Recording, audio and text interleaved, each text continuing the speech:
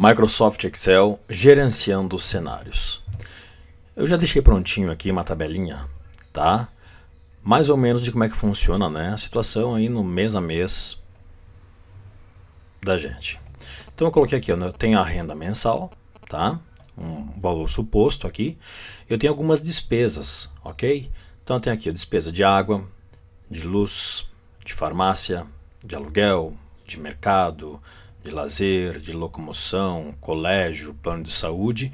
Você vai colocando aí o que você achar interessante, apenas para um exemplo. O que, que seria os cenários? Dentro de um cenário atual, o que é que seria o ideal eu gastar?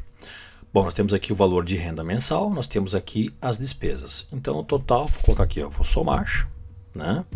Eu vou somar os valores das despesas que eu tenho até aqui. E esse valor aqui eu vou Beleza. O saldo, o saldo nada mais é do que então a renda mensal menos o total de despesas. Então aqui está o meu saldo com essas despesas, 135 reais.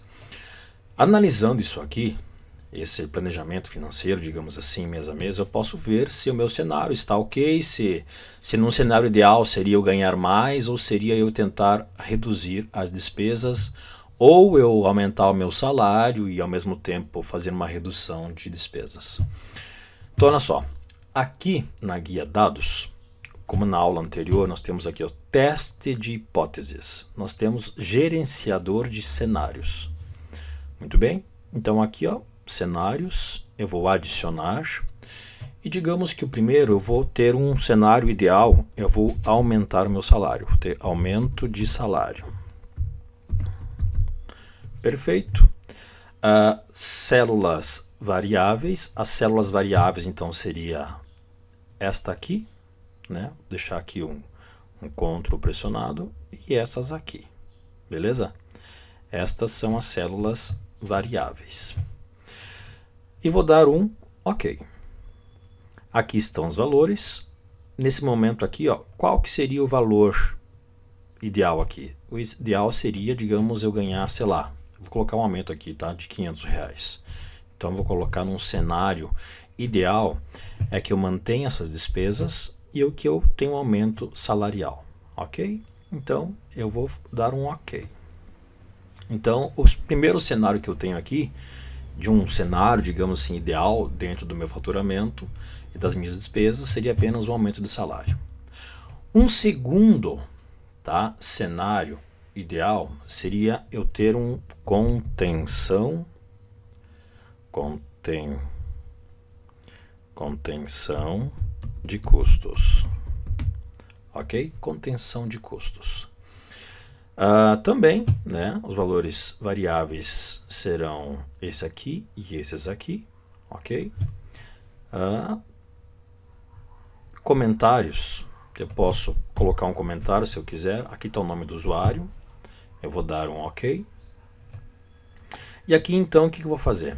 Eu vou deixar o cenário atual eu manter o mesmo salário e eu tentar fazer uma redução de custo. Só vou economizar água, vamos tentar chegar em 70 reais. A luz eu vou tentar chegar aqui, sei lá, em 250 reais, tá? Farmácia é farmácia, né? Farmácia não tem como você prever, o aluguel também não, ok? Uh, mercado. Mercado dá para tentar economizar um pouquinho, mas geralmente se compra o essencial. Lazer. Olha, esse mês aqui, ou por os próximos meses, nós vamos reduzir aqui um pouquinho o lazer. Vamos deixar de sair, sei lá, um pouquinho, que eu acho muito importante. Mas enfim, é apenas um cenário aqui. Locomoção. Vamos tentar economizar uma gasolina, vamos andar mais a pé. 200 reais. Filhos não tem como, nem plano de saúde. Ok. E vamos criar mais um cenário que seria o que? Eu ter um aumento salarial e redução ou contenção, né? Contenção de custos.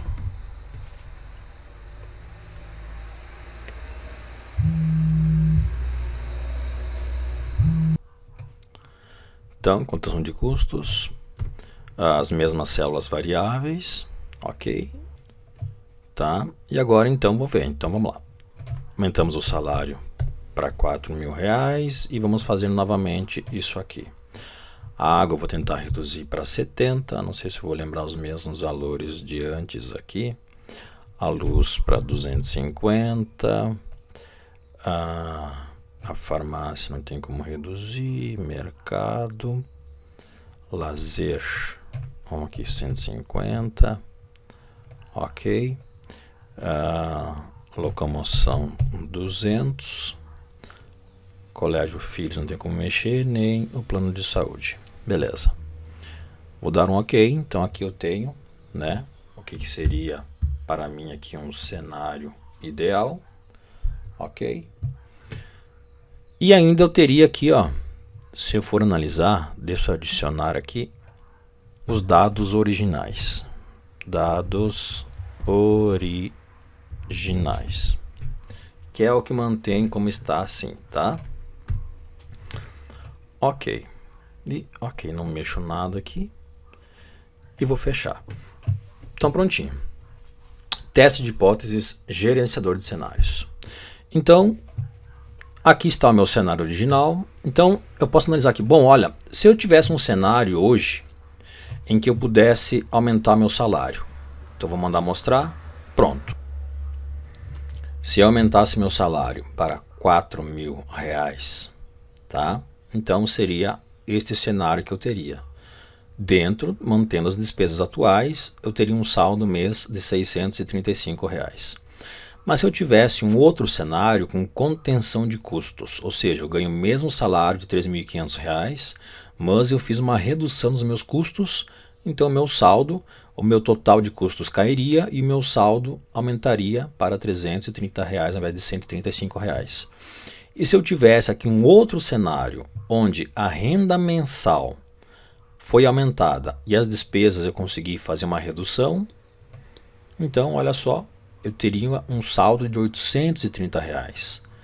E ainda tem os dados originais que eu posso ver como estava antes para mim poder ir comparando. Então olha que legal que é. Então você vai montando cenários. Olha, num cenário ideal seria um aumento de salários e você fazer uma redução de custos, né? Ótimo, seria maravilhoso. Mas se não, claro, ainda estaria aqui parcelas, que todo mundo sempre compra alguma coisa parcelada, alguma coisa em loja tal. Mas você pode fazer isso. Olha, se nós economizarmos tanto, eu vai me sobrar tanto, então eu posso investir numa poupança, né? Por que não? Então estes são os cenários aqui dentro do Excel. Espero que você tenha gostado, pratique e vejo você no nosso próximo tutorial.